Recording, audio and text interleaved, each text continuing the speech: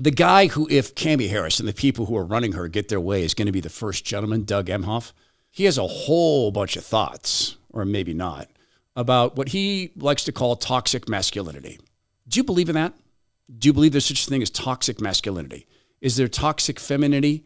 I'll show you what Doug Emhoff said here in just a second. Today is the day the Lord has made, and these are the times through which God has decided we shall live. Douglas Emhoff, the husband of Cami Harris, is an investor, very successful financially. One of his famous or infamous investments was in private prisons. Hey, there was a time when the left hated private prisons because it impacted the BIPOCs. There was a time when Cami Harris laughed and cackled about putting in prison in jail, well, in jail, BIPOC parents because BIPOC kids were tardy to school. She laughed. she famously launched her political career through a sexual service she provided to Willie Brown. Now, look, politics is slimy business. It's a slimy business, and there are many, many Republican politicians, male, who've had a whole bunch of affairs, and let's not pretend otherwise. Newt Gingrich to his eternal shame, it's continuous. So I don't want to make a special case out of Cami because she's a woman. I make it because if there's toxic femininity, wouldn't that include using your sexuality as a way to advance your career? And if there's toxic masculinity, if it exists, wouldn't it involve doing something Douglas Emhoff did? I want you to hear what he said during an interview, and you judge. Is this guy on the money or is he, well, off the money? Money's really, really important. You ever notice that? If you don't have enough of it, uh, things can go poorly. You can get really, really nervous. This past week, when we saw the stock market plummet, thousand points. If you looked at your retirement account and it was missing about 30% of your funds, you're probably in an imbalanced position. And if you're looking at inflation, this highly inflationary environment and you haven't gone and checked to see how that's affecting your plans for retirement, may I suggest you do that? And in either case, you should get a free consultation from Zach Abraham, Chief Investment Officer of Bulwark Capital Management. He will look at every investment you have. He'll look at your goals. He'll look at your home, whether you own one or not. He'll look at your plans for retirement, and he will tell you you're set up to handle mass inflation or not and you are at risk from the next stock market collapse or not. Now, he's not a soothsayer, he can't predict the future, but what he practices is risk management, which, in my judgment, requires active management of every single portfolio, which can reduce risk and volatility. So go to knowyourriskradio.com or call 866 779 RISK. That's knowyourriskradio.com or call 866 779 RISK to get a free, no obligation consultation. Bulwark Capital Management is an investment advisor representative of Trek Financial LLC, and SEC registered investment advisor.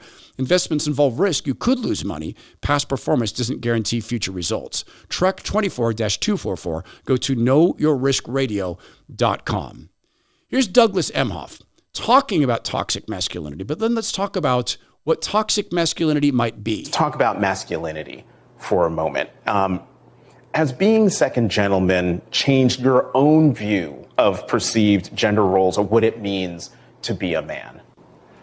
That's this is something I've I've thought about a lot and something I've spoken about a lot. There's too much of toxicity, it, it, masculine toxicity out there, and there, we've kind of confused what it means to be a man, what it means to be masculine, where you've got this trope out there that you've got to be tough and you know angry and, and lash out to be strong. I just just the opposite.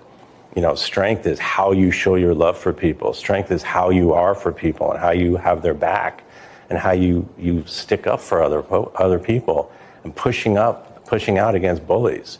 I mean, that's what I believe it is. So every time I can speak against to- this toxicity. I, we're seeing it with our younger people. We're seeing it in our discourse and our politics, in the media. You're seeing it as it relates to so many of the issues that we're, we're pushing back on. So um, I think it's a problem, and I'm going to continue to use this platform every time I get to, to speak out against this toxic masculinity that's out there. Would it be toxically masculine uh, to use a power position or power advantage, say that you employ a nanny to, you know, bed her, to get in her pants, to be blunt and crude and gross.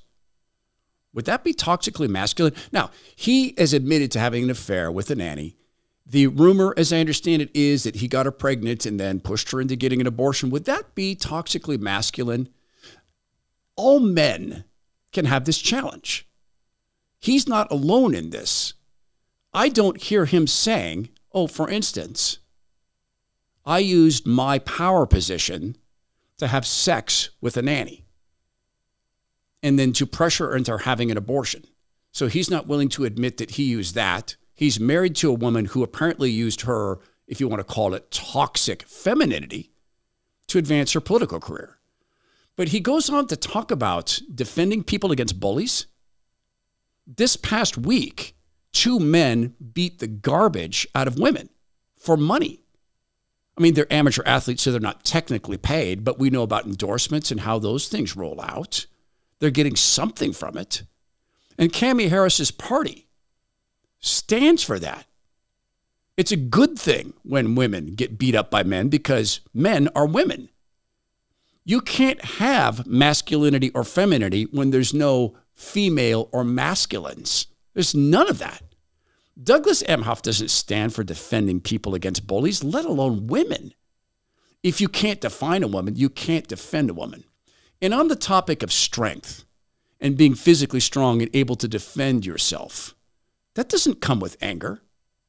Anger is not necessarily a masculine trait. It's certainly not defining of toxic masculinity. Anybody can get angry. There's women who fly off with the F word and the MF word and other things and slap things and kick things.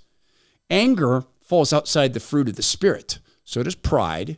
So does preying upon people sexually so does lording your power over others. It is not the fruit of the Spirit. It is not godly. It comes from the other end of the spectrum.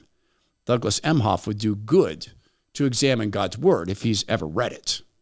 Well, if he hasn't, maybe he should start with one thing. How did the Lord Jesus act? The most masculine man who's ever existed. Why? Because he invented masculinity. And what was he? Weak? Hardly.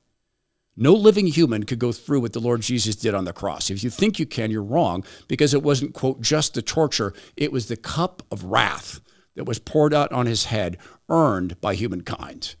He'd do well to look at Jesus as a model for masculinity. This is the Todd Herman Show. Please go be well, be strong, be kind, and please make every effort to walk in the light of Christ.